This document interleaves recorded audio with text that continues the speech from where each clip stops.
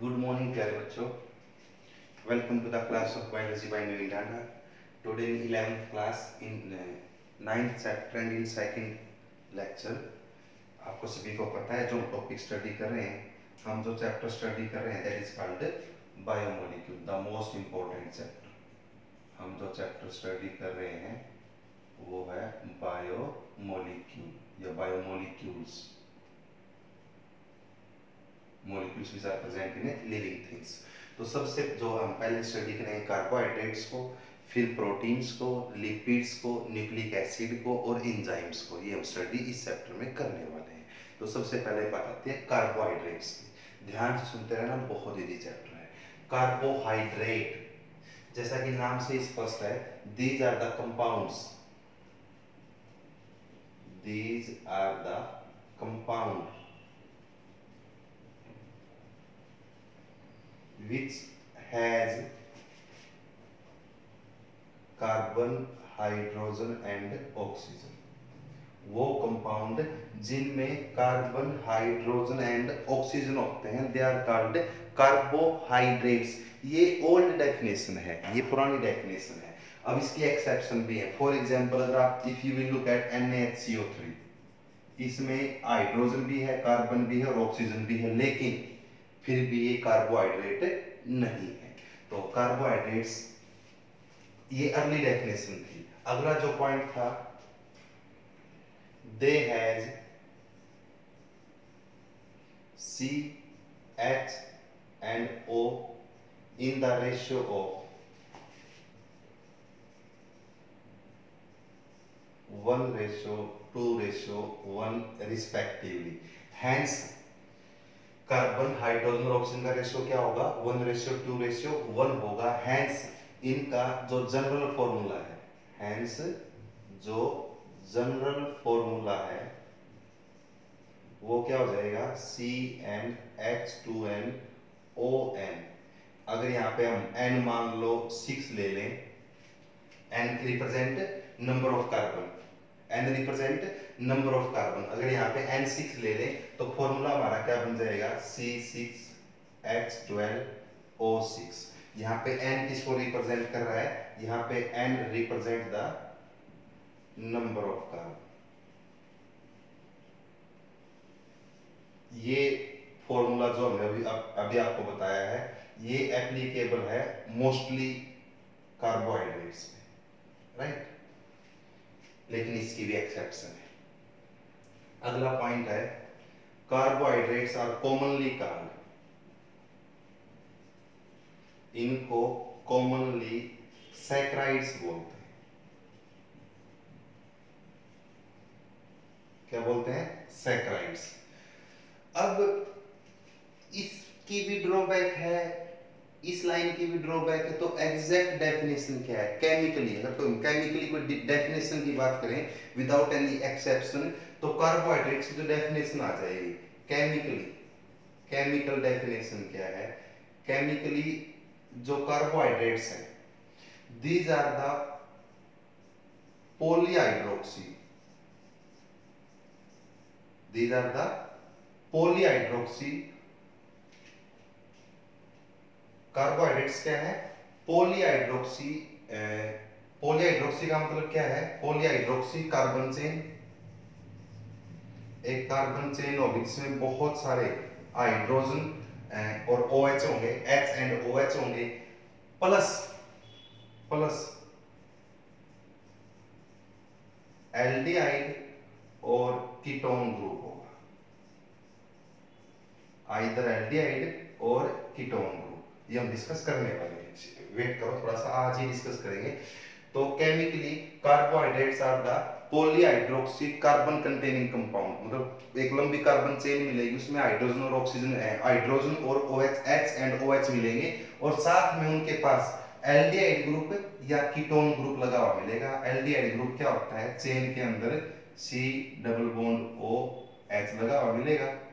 इधर चेन मिलेगी carbon chain और इसमें कार्बन चेन के दोनों साइड इधर भी कार्बन चेन इधर भी कार्बन चेन और बीच में क्या मिलेगा? सी डबल बॉन्ड ओ ये आप डिस्कस कर चुके हो, ये तो है जो एल्डिहाइड ग्रुप है और जो ये है कीटोन ग्रुप है, ये आप टेंथ क्लास में भी डिस्कस कर चुके हो।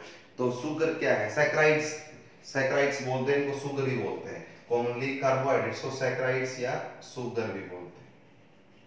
पॉइंट क्लियर ये डेफिनेशन हम डिस्कस करेंगे। तो सैक्राइड्स जितने भी हैं सैक्राइड्स वो saccharide saccharides which has aldehyde group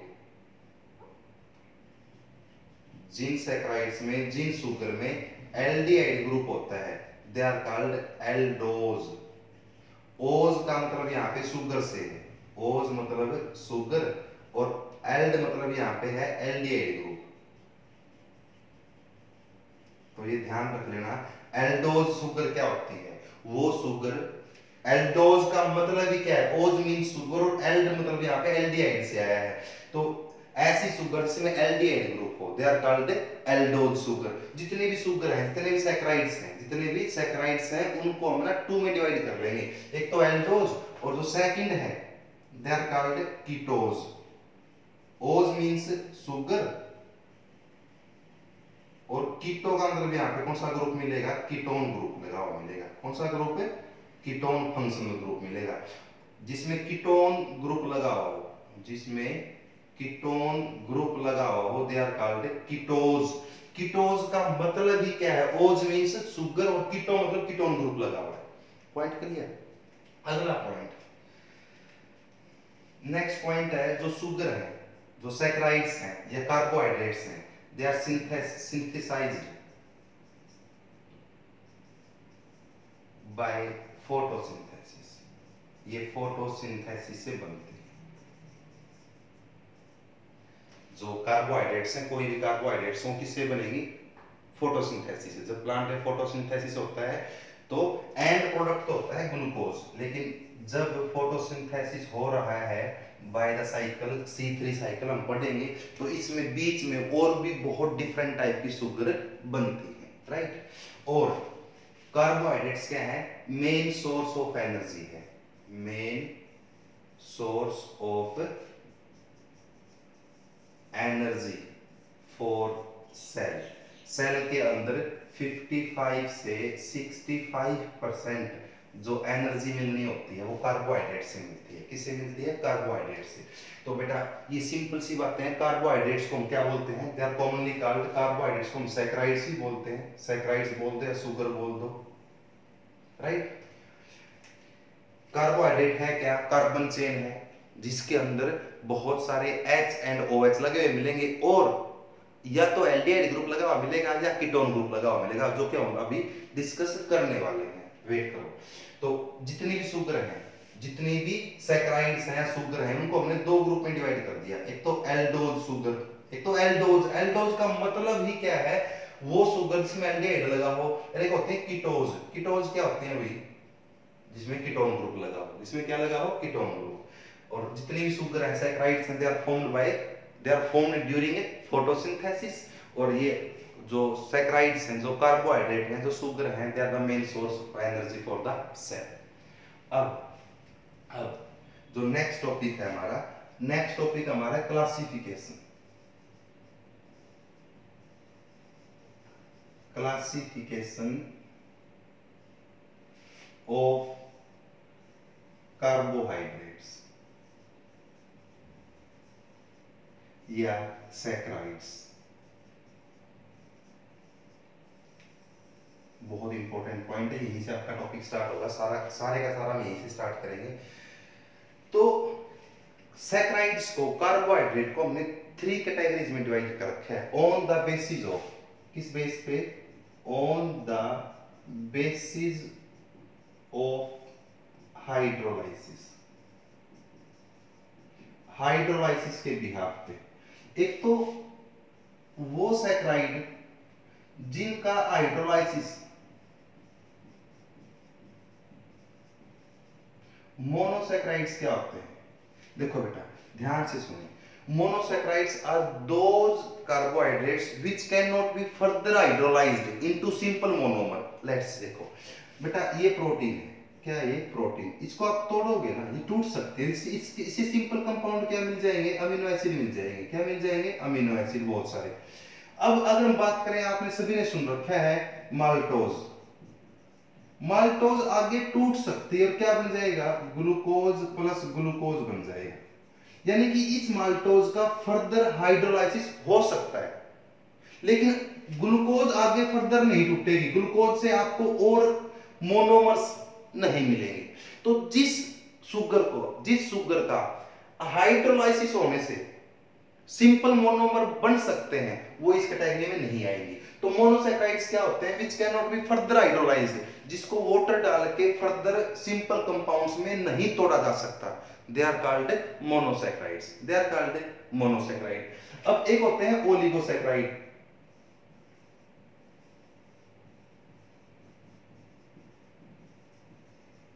these are those saccharide which on hydrolysis जिसको हाइड्रोलाइसिस करके तोड़ा जा सकता है. They has two two ten monomers इनमें दो से दस मोनोमर होते हैं। जैसे माल्टोज में दो है। माल्टोज में कितने मोनोमर है? दो मोनोमर है। लैक्टोज के अंदर आपने लैक्टोज शुगर सुना है। आपने लैक्टोज सुगर सुना लैक्टोज भी एक ओलिगोसैक्राइड है, क्योंकि इसको आगे फर्दर तोड़ा जा सकता है। जब लैक्टोज टूटेगा ना तो एक तो बन जाएगा ग्लूकोज हम डिस्कस करने वाले हैं डिटेल और एक बन जाएगा ग्लैक्टोज तो इस लैक्टोज का फर्दर हाइड्रोलाइसिस पॉसिबल है इनटू मोनोमर्स ये मोनोमर है, ये मोनोमर है, ये इसको मोनोमर क्यों बोला है? ग्लूकोज को मोनोमर क्यों बोला है? ग्लैक्टोज को मोनोमर क्यों बोला है? क्योंकि इनको आगे फर्दर हाइड्रोलाइज नहीं किया जा सकता। इसलिए इनको क्या बोलते हैं? मोनोमर बोलते हैं। और मोनोमर या मोनोसैक्राइड्स। तो व्हाट आर मोनोसैक्राइड सैक्राइड का मतलब शुगर सैक्राइड का मतलब sugar these are those sugar those carbohydrates sugar बोल दो या कार्बोहाइड्रेट्स बोल दो, which can not be further hydrolysed into simple monomer जिसको आप सिंपल मोनोमर में नहीं तोड़ सकते। पॉइंट क्लियर है ना? ओलिगोसैक्राइड्स क्या होते हैं? These are those carbohydrates which can be further hydrolysed जिसको हम आगे वाटर डाल के तोड़ सकते हैं एंड इल्ड जो देंगे, कितने? टू टू टेन मोनोमर्स और एक होते हैं बेटा पॉलीसैक्राइड्स एक क्या होते हैं? पॉलीसैक्राइड्स पॉलीसैक्राइड्स क्या होते हैं? Which on hydrolysis gives more than ten monosaccharide जो जिसका आगे हाइड्रोलाइसिस ना हो दे आर मोनोसैकेराइड जिसका आगे हाइड्रोलाइज होने से 2 टू 10 या कुछ बुक में 2 टू 6 कुछ में 2 टू 7 कुछ में 2 टू 8 भी लिखा हो सकता है। 2 टू 8 बोल लो आप, ये नॉर्मली मैं 10 बोल देता हूँ। टू टू एट या टू टू सिक्स भी हो सकता है बुक में, कुछ बुक में टू टू सेवन भी है।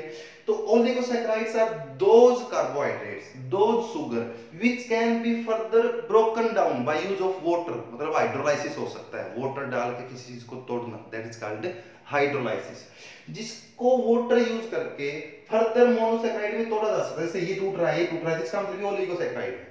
और पॉलीसैकेराइड्स क्या होते हैं?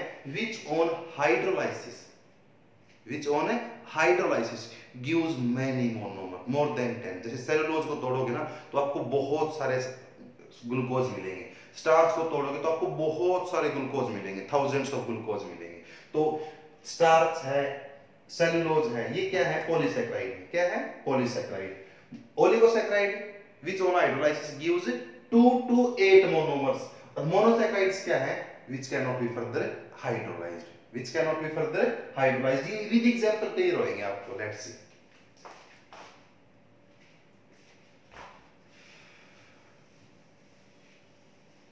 अब मोनोसैक्राइड्स मोनोसैक्राइड्स क्या होते हैं मोनोसैक्राइड जिसको आगे फर्दर नहीं तोड़ा जा सकता। Which can not be further hydrolyse अब मोनोसेक्राइड की आगे फर्दर टाइप्स हैं। इसकी भी टाइप्स हैं। ये फर्दर टाइप्स हैं इसकी। ऑन द बेसिस ऑफ़ इसकी कई सारी टाइप हैं on the basis of number of carbon sugar के अंदर कार्बन कितने हैं? सुगर के अंदर कार्बन कितने हैं? जैसे नंबर एक है यहाँ पे ट्राइओज ट्राइओज वर्ड तोड़ दो. ट्राई मींस तीन और ओज मींस सुगर ऐसी सुगर जिसके अंदर थ्री कार्बन होते हैं. ऐसी sugar this is sugar simple sugar है, इनको आगे नहीं तोड़ा जा सकता। और इस सुगर के अंदर कितने कार्बन होंगे? थ्री तो ये थ्री कार्बन सुगर है। थ्री कार्बन सुगर है। इसका अगर एग्ज़ाम्पल बात करोगे तो इसका एग्ज़ाम्पल हो जाएगा ग्लिसरल डिहाइड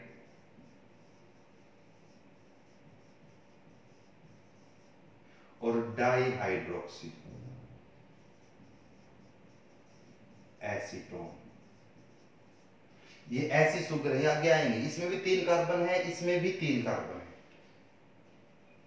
इनको मैंने मोनोसेक्राइड ग्लिसरल डिहाइड को, मैंने मोनोसेक्राइड क्यों बोला है? डाइहाइड्रोक्सी एसीटोन को मोनोसेक्राइड क्यों बोला है? क्योंकि इनको आप फर्दर और सिंपल फॉर्म में, और सिंपल मोनोमर इससे नहीं मिलेंगे। राइट ना? तो दे आर कॉल्ड मोनोसेक्राइड्स और ये ये कौन सा मोनोसेक्राइड है? ट्रायोज ट्रायोज क्यों बोला है इसको? क्योंकि ओज मीन शुगर तो लिए मैंने एक टर्म यूज़ कर दिया triose triose means ose mean sugar tri means three carbon तो ग्लिसरल डिहाइड क्या है? आपसे कोई पूछ ले व्हाट इज़ ग्लिसरल डिहाइड तो आप बोलोगे sir it's a triose triose means it has three sugar ose means sorry, three carbon. Oz means sugar, tri means three. तो it's a sugar which has three carbon. है tetrose क्या होती है tetrose ose mean sugar tetra mean चार this is the sugar which has four carbon example आएगा आपका erythrose erythrose एक sugar है. एरिथ्रोज क्या करे बच्चों एक? सुगर है जिसमें फोर कार्बन होते हैं. कितने होते हैं? फोर कार्बन नेक्स्ट है बेटा पेंटोज बताओ pentose what the meaning of pentose pent means five और ओज means sugar it's the sugar which has five carbon example है यहाँ पे ribose deoxyribose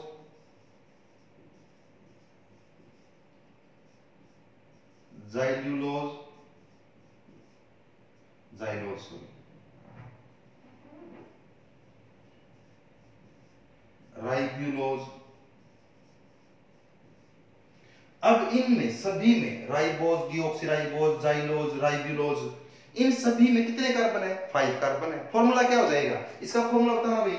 C3 है। तो फॉर्मूला क्या हो जाएगा? C3H6O3 क्योंकि जनरल फॉर्मूला कौन सा फॉलो होता है? CnH2n अगर हमारे पास नंबर ऑफ़ कार्बन हो, n represent the number of carbon तो हमें H और O का नंबर भी पता कर सकते हैं इन दैट सुगर डाइहाइड्रोक्सीएसीटोन का फॉर्मूला क्या है C six sorry sorry sorry C3H6O3 क्योंकि ये ट्राइओज है इसमें तीन कार्बन है। एरिथ्रोज का फॉर्मूला C4H8O4 राइबोज में C5H10O5 डीऑक्सीराइबोज में C5H10O4 ये एकमात्र शुगर है, ये एक शुगर है, पेंटोज शुगर है, लेकिन ये इस फॉर्मूला को फॉलो नहीं करती। बहुत इंपॉर्टेंट क्वेश्चन है।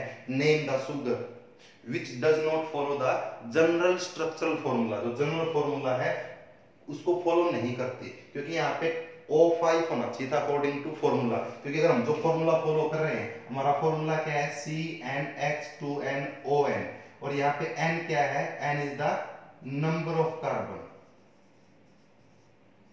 तो यहाँ पे ये फॉलो नहीं हो रहा है। अगर हम बात करें जाइ, जाइलोज इसमें भी C5H10O5 इसमें भी क्या है? C5H10O5 वेरी इजी नेक्स्ट है hexose hexose ose means sugar और hex means it has six carbon six carbon containing sugar six carbon containing sugar are called hexose इसके अंदर एग्जांपल आ जाएँगे आपका ग्लूकोज सभी ने पता है, सभी को पता है। ग्लूकोज है गलैक्टोज है फ्रुक्टोज है मैनोज है। इन सभी का फॉर्मूला इन सभी का फॉर्मूला C6H12O6 है। यानी इन सभी का मोलिकुलर फॉर्मूला MF सभी का सेम है। लेकिन इन सभी का स्ट्रक्चरल फॉर्मूला हम डिस्कस करेंगे। इन सभी का स्ट्रक्चरल फॉर्मूला डिफरेंट है।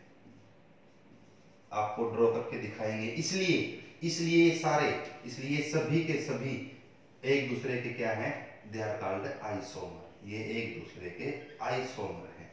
आइसोमर क्या होते हैं? वो कंपाउंड जिनका मोलिकुलर फॉर्मूला तो सेम हो, लेकिन स्ट्रक्चरल फॉर्मूला भी ड्रॉ करके दिखाऊँगा आपको। इन सभी के स्ट्रक्चरल फॉर्मूले अलग अलग हैं। लेकिन मोलिकुलर फॉर्मूला सभी के अंदर क्या है? सेम हर किसी के अंदर सिक्स कार्बन है। हाइड्रोजन 12 है, ऑक्सीजन 6 है। एक मात्र ये सुगर है एक मात्र ये सुगर है जो इस फॉर्मूला को फॉलो नहीं कर रही। कौन से फॉर्मूला को? इस फॉर्मूला को फॉलो नहीं कर रही। अदरवाइज़ जितनी भी सुगर हम आपको पढ़ा रहे हैं, सभी इसको फॉलो करती है राइट तो हेक्सोज वर्ड तोड़ दो, रट्टा ना हमारे ओज मीन सुगर और हेक्स मतलब सिक्स कार्बन राइट नेक्स्ट है heptose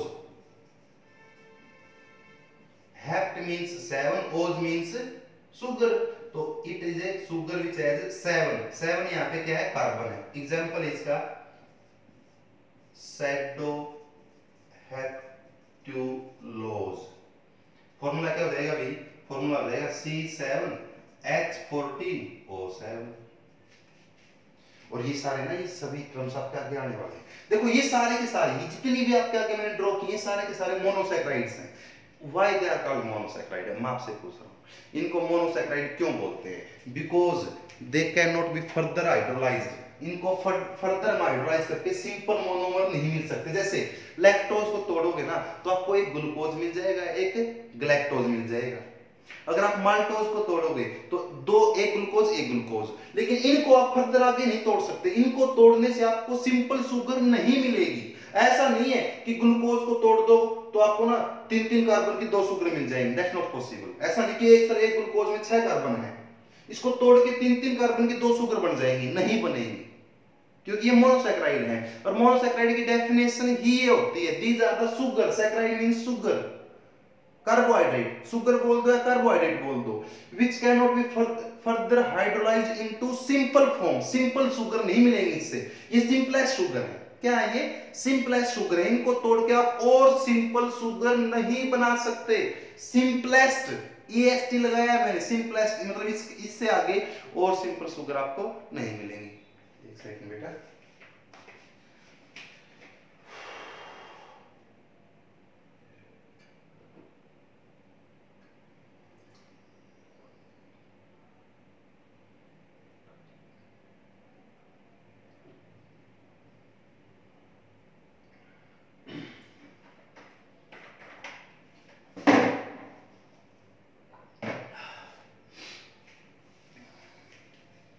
अगर आपको मैं मोनोसैकेराइड्स के बारे में दो तीन बातें बताऊँ।